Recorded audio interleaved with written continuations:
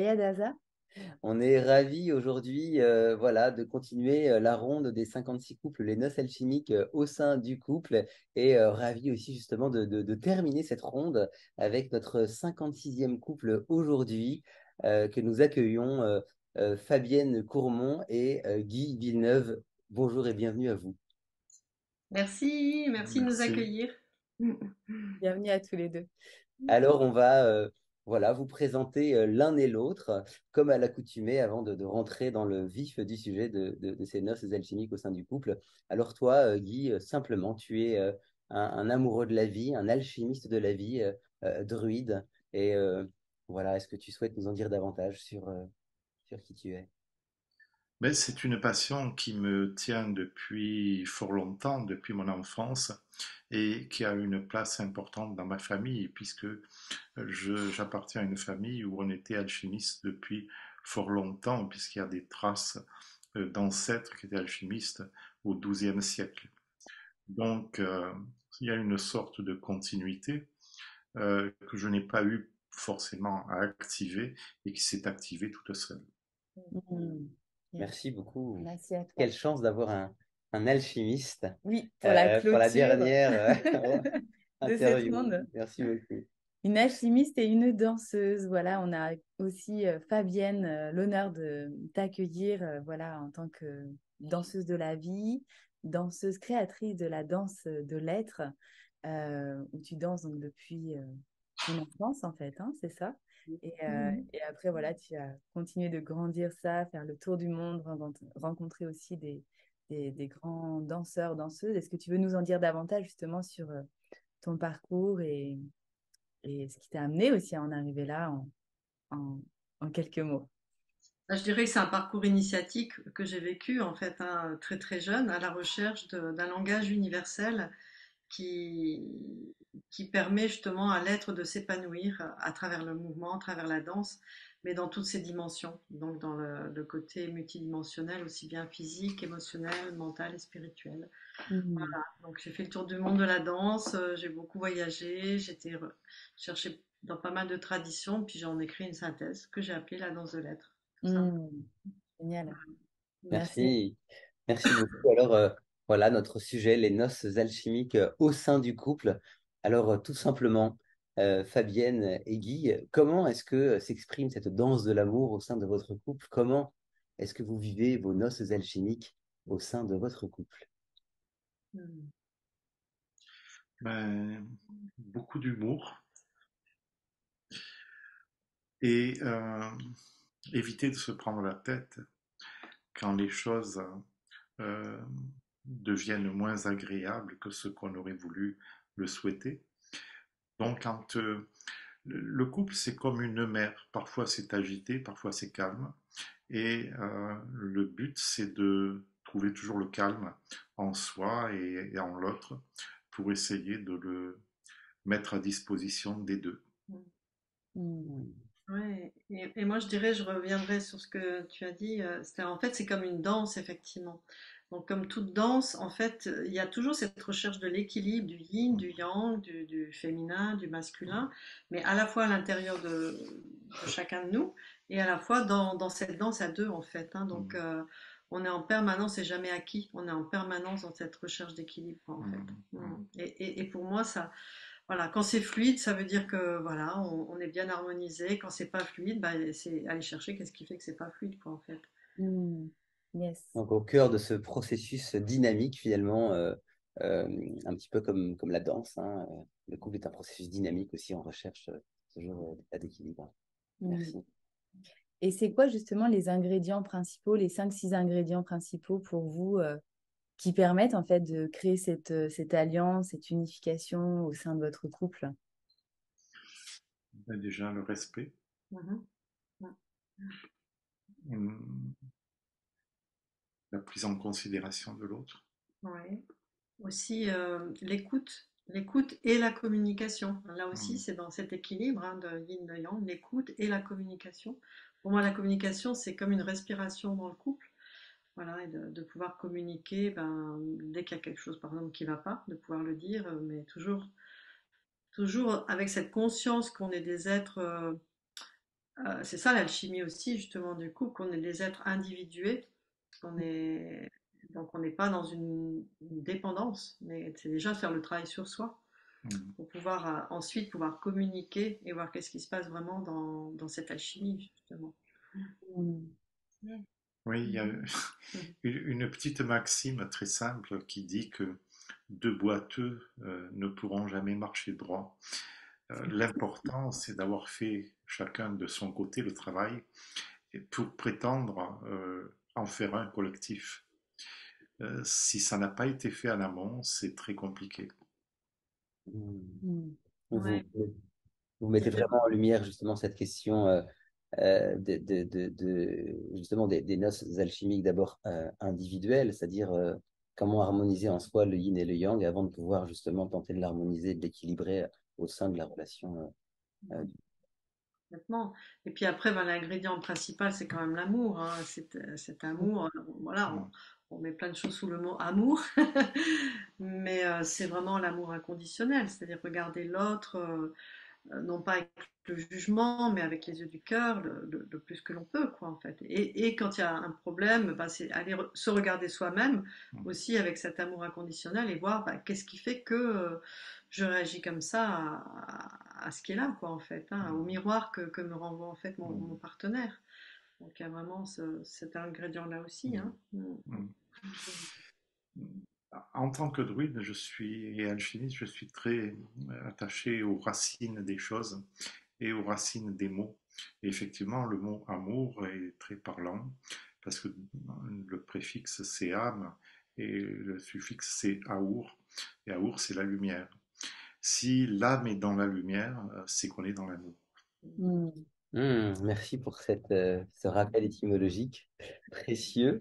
Et alors du coup, en fait, quand vous évoquez l'énergie d'amour, hein, euh, ça, me donne envie de, de, d'en savoir davantage justement sur votre rencontre et sur comment justement est-ce que cet amour s'est manifesté? vous l'avez évoqué tout à l'heure en, en off. Est-ce que vous voudriez bien nous, nous partager quelques bribes? Oui. Ben, quand on s'est rencontrés, euh, Fabienne était euh, euh, dans un chemin de souffrance, parce qu'à ce moment-là, c'était comme ça que sa vie s'était mise en place. Et je lui suis venu en aide. Et à partir de là, ben, elle a quitté ce chemin de souffrance. Mais en, en même temps, ça c'était la partie aide, mais euh, ce qui nous a scotché tous les deux, c'est que nous étions à un moment donné euh, l'un face à l'autre, à peu près à un mètre et quelques ou deux mètres de distance. Et à un moment donné, pour moi du moins, une énergie colossale s'est manifestée dans mon dos mhm. et m'a poussé vers elle. Mhm. Euh, je vous l'ai dit tout à l'heure, un, peu un aparté, mais j'ai une bonne lecture et une bonne perception des énergies en général, et souvent je les vois. Mais là, euh, je ne l'ai pas vu, et euh, j'ai trouvé ça très fort, très, très puissant. C'est au-delà de nous, en fait. Et quand on a échangé sur ça, mm. Fabienne m'a dit, mais pour mm. moi, ça a été la même chose. Donc, on est parti un peu de l'idée que euh, au-delà de nos choix personnels, on avait été choisi. Mhm.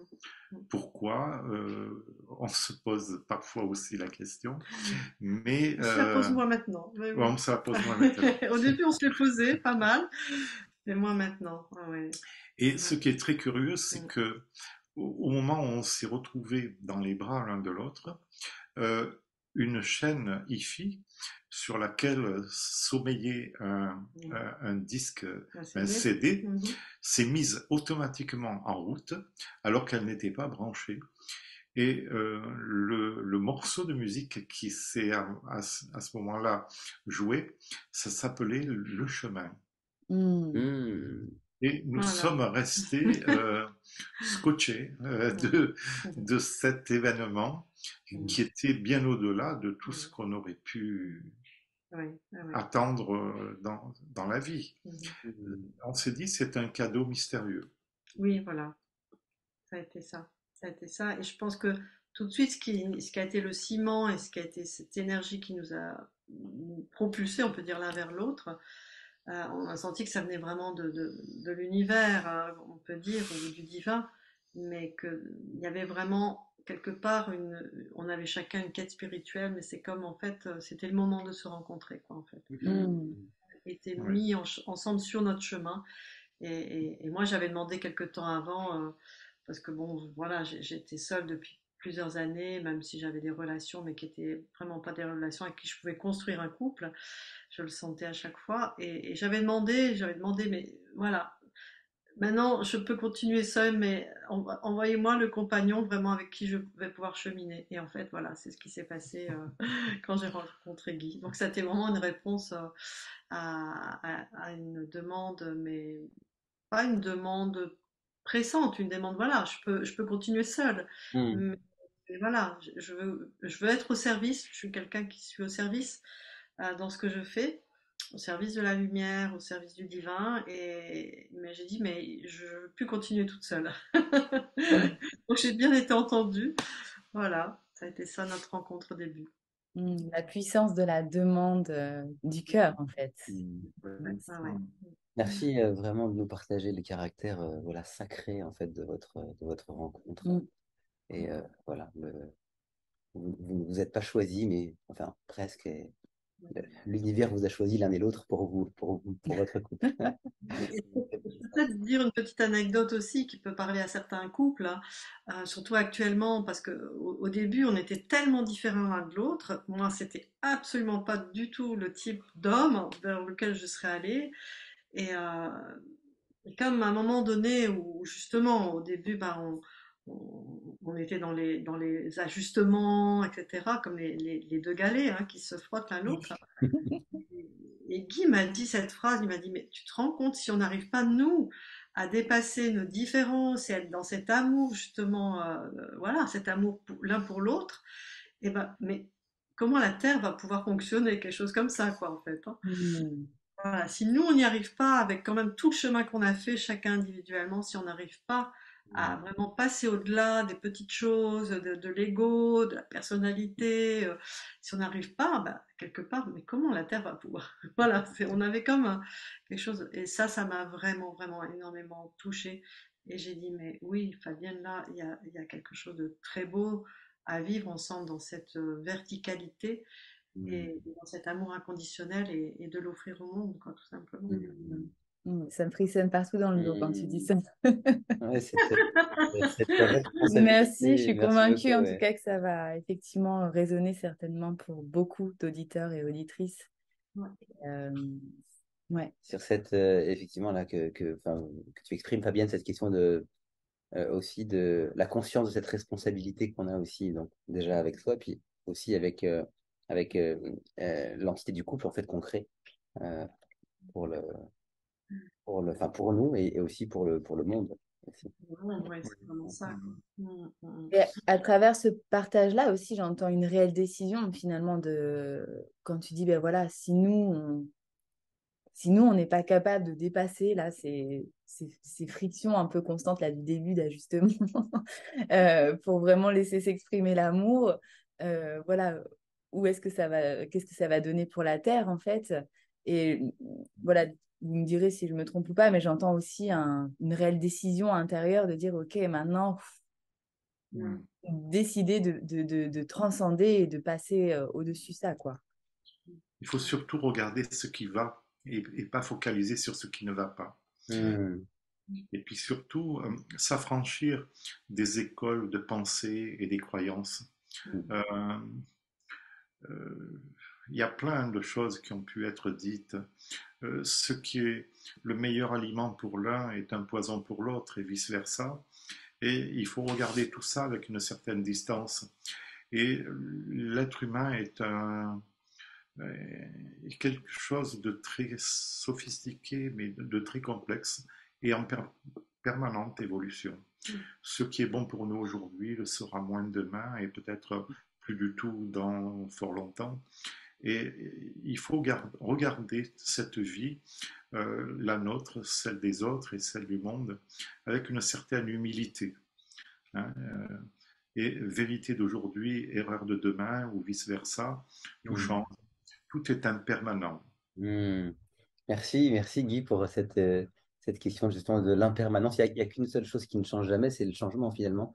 Euh, et euh, alors justement, tu, tu, voilà, vous avez partagé les ingrédients du respect, de la considération, de l'amour, de la communication, de l'écoute, qui sont importants et, primordiaux aussi justement pour, pour créer cette, cette alchimie. Est-ce que vous pourriez nous partager euh, si on focus davantage, une, une, pépite, votre pépite, quelque chose qui fonctionne particulièrement pour vous euh, dans cette euh, énergie alchimique. Hein? Il ne faut pas tout attendre de l'autre. Très important. Voilà, tout à fait. L'autre ne sera jamais le magicien qui résoudra toutes les énigmes. il est celui qui accompagne avec ses forces et ses faiblesses. Et si chacun regarde l'autre euh, de cette façon-là, mm. euh, ça peut fonctionner. Mm. Si on attend trop, euh, on sera forcément déçu. Oui, c'est vraiment ça. Et, vraiment, je rejoins Guy. Et en plus, avant de rencontrer Guy, je m'interrogeais tellement, justement, je savais que pour moi, le couple, c'était vraiment important, et, à, travers toutes les épreuves que j'avais vécues avant. Et en fait, une amie qui, canalise m'avait dit, mais en fait, tu es en train d'être initié à, une forme d'amour que peu de personnes sur la Terre connaissent, c'est alors le véritable amour inconditionnel. Et, en fait, c'est pas rencontrer quand tu rencontres quelqu'un et, quand un couple, c'est pas cet amour où, on attend tout de l'autre, où tout est, enfin, comme si d'un seul coup, c'est le couple qui va tout remplir. Et elle m'avait dit, mais non, en fait, tu, tu partages déjà cet amour avec tellement d'êtres autour de toi, dans ce que tu fais, etc. Et juste le couple va être là pour euh, avoir une relation. C'est comme le, couple de Jésus, Marie-Madeleine. Marie-Madeleine était la préférée de Jésus. Mais Jésus avait un amour pour tous les êtres avec lesquels il était. Sauf que Marie-Madeleine était sa préférée. Et c'est un peu ce qu'on vit avec Guy. C'est comme, moi j'aime toutes les personnes avec qui je suis en contact, mais juste, Guy est mon préféré. Voilà. Parce qu'on a choisi ça, ou on a été choisi, c'est ça. Merci de, partager sur cette question justement de, de, de l'amour, hein, parce que c'est un mot qui peut être utilisé un petit peu à toutes les sauces et on ne sait pas des fois toujours très bien ce que ça signifie. Et alors, est-ce que, est-ce que pour vous, euh, alors évidemment, il y a, le, il y a cette, euh, cette euh, reconnaissance, j'ai envie de dire, hein, qui, qui, vous a attiré l'un vers l'autre et l'un à l'autre. Et est-ce que, on entend parfois l'amour c'est une décision. Est-ce que, est-ce que aussi l'amour c'est une décision selon vous? Décision peut-être, mais en tout cas, ça peut pas. Ça dépend de où vient la décision. Ça peut, ça peut pas venir de du petit moi, on va dire, de l'ego. Hmm. Si c'est euh, si c'est une volonté personnelle, bah c'est sûr, bien souvent c'est joué à l'échec, c'est dommage, mmh, mais mmh. c'est comme ça en fait. Hein, et moi c'est ce qui mmh. s'est passé. Hein, dans, dans, ma vie, j'ai eu justement des épreuves parce que c'était, ça venait de cet endroit-là. Mais quand c'est une décision qui vient vraiment de, du, profond, du plus profond de notre être, là, là il y a quelque chose qui, sacré. C'est ça. Il y a quelque chose qui, s'aligne avec avec tout, avec, avec tout en fait notre être en fait. Donc là, c'est c'est à la fois une décision et, et, c'est pas nous qui décidons. c'est ce paradoxe. vraiment ce paradoxe, voilà. Mm. Merci. Merci. Mm. Et tout à l'heure, euh, tu parlais, enfin vous parliez, voilà, de vous aimez les gens et en même temps, ben voilà, il y a la préférée, il y a le préféré. Ça tombe bien parce que j'ai une question pour vous à ce sujet-là. C'est euh, voilà, ce projet, les noces alchimiques au sein du couple, donc s'inscrit à l'honneur des couples et particulièrement des couples qui choisissent de vivre euh, leur union dans le mono-amour, c'est-à-dire vraiment dans cette fidélité, euh, cette exclusivité, si on peut le nommer ainsi en tout cas, euh, dans l'expression, dans la relation. Qu'est-ce qui fait sens pour vous de choisir de vivre votre couple dans le mono-amour? Hmm. Qu'est-ce qui fait sens? Je crois que c'est... C'est plus simple. Oui.